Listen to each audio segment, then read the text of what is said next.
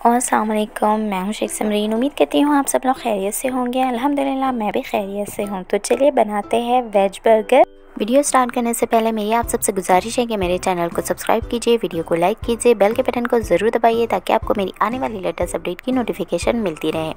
और प्लीज़ मुझे सपोर्ट करिए। सबसे पहले मैं एक पैन में टू टेबल स्पून ऑयल ले लूँगी, उसके अंदर ज़ीरा ऐड करूँगी जिंजर गार्लिक पेस्ट और इसे हल्का सा सॉटे करूँगी। अब सॉटे करने के बाद मैं इसमें डालूँगी गाजर।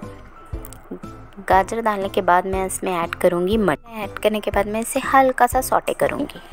मैं सबकी क्वांटिटी लिख चुकी हूँ। आप लोग वहाँ देख सकते हैं कि मैं कौन सा कितना डाल रही हूँ, क्या ऐड कर रही हूँ। हाफ़ टेबल स्पून हल्दी पाउडर रेड चिली पाउडर धनिया पाउडर गरम मसाला।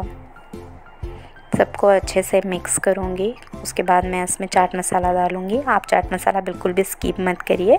इसे बहुत अच्छा टेस्ट आता है। इसमें उबले हुए आलू धनिया। अब ये, इसे हम ठंडा होने के लिए रख देंगे एक साइड में। अब हम एक बॉल में दो, एक टेबल स्पून मैदा लेंगे। उसमें थोड़ा सा नमक मिलाएँगे और पानी से एक घोल तैयार करेंगे। ये घोल मैं पेटिस के लिए बना रही हूँ, जिसमें हम अपनी पेटिस को डिप करेंगे। ये ब्रेड क्रम्स है। अब चलिए एक बॉल में हम मायो डिप बनाएँगे। ये डिप हम अपने बर्गर्स पे लगाएँगे। ये मैंने केचप ले लिया है। आप लोग रेड चिली सॉस भी यूज़ कर सकते हैं। अब इसे हम अच्छे से मिक्स करेंगे। अब दूसरी डिप तैयार करेंगे हम। मायो लेंगे। मिंट की चटनी लेंगे हम। इसे मिक्स करेंगे। ये देखिए, हमारे दोनों डिप तैयार है। अब चलिए आते हैं हम पेटीज़ की तरफ़। ये ठंडा हो चुका है कम्प्लीटली अब इसके अंदर हम ब्रेड क्रम्स मिलाएँगे। इसे मिक्स करेंगे। और इसे कटलेट का शेप दे दें। कटलेट का शेप देने के बाद, इसे कोटिंग करने के बाद हम इसे एक महीने के लिए भी स्टोर कर सकते हैं। ये बिल्कुल भी ख़राब नहीं होगी। आप इसे कोटिंग कर लीजिए और उसके बाद एयर टाइट कंटेनर में इसे फ्रीज़ कर दीजिए। अभी फ़िलहाल के लिए हम इसे 15 मिनट फ्रीज़ करेंगे। 15 मिनट मैं इसलिए कह रही हूँ कि अगर आपके पास टाइम नहीं है तो आप पाँच मिनट भी कर सकते हैं, लेकिन इसे फ्रीज़ में ज़रूर रखिए। इसका रीज़न ये है कि जब आप कटलेट तलेंगे तो बिल्कुल भी आपकी कटलेट टूटेगी नहीं। इसे अच्छी तरह से कोट करेंगे हम, जो घोल बनाया था उसमें भी डिप करेंगे, डबल कोटिंग करेंगे हम इसे। अब इसे मैं पंद्रह मिनट के लिए फ्रीज़ कर रही हूँ। अब चलिए आते हैं हम अपने बर्गर्स की तरफ़। इसे बीच में से हम कट करेंगे, सेंटर में से। ये दो पार्ट में कर चुकी हूँ। अब इसे हम टोस्ट करेंगे। हल्का सा बटर लगाएँगे, दोनों भी स्लाइस पर अपनी। अब इसे हम एक पैन में टोस्ट करेंगे, लाइटली टोस्ट करेंगे, बिल्कुल भी, बस हल्का सा। ये देखिए, हो।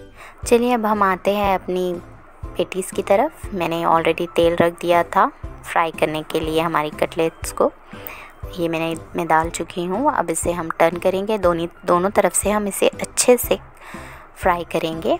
ये देखिए, मेरी कटलेट बिल्कुल भी नहीं टूट रही है। यही रीज़न होता है इसे फ्रीज़ करने का कि ये टाइट हो जाती है और ज़्यादा तेल भी ऑब्ज़र्व नहीं करती है। नहीं तो कभी कभी हम वेजिटेबल कटलेट्स बनाते हैं तो वो बहुत ज़्यादा ऑयल ऑब्ज़र्व कर लेती है और खाने के टाइम पे ये बिल्कुल भी क्रिस्पी नहीं लगती है। मतलब ऑयल मुँह में आता है। चलिए, अब बर्गर असेंबल करने का टाइम आ गया है। अब सबसे पहले मैं एक स्लाइस के ऊपर अपनी रेड चिली सॉस वाली चटनी लगाऊँगी। अब इसके ऊपर, अब एक हम कैबेज लीव्स ले लेंगे। अब इसके ऊपर थोड़ी सी चटनी लगाएँगे। हमारी पेटी रखेंगे हम। पेटी रखने के बाद मैं इसके ऊपर चीज़ का एक स्लाइस रखने वाली हूँ।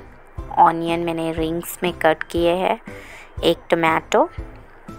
अब दूसरे वाले ब्रेड वाले साइड पे बर्गर वाले साइड पे हम अपनी मिंट वाली चटनी अप्लाई करेंगे। ये देखिए, इस तरह से मैं लगा रही हूँ इसे और थोड़ी सी चटनी हम टोमेटो पे डालेंगे।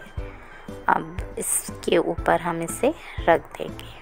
ये देखिए, हमारा बर्गर वेज बर्गर तैयार है।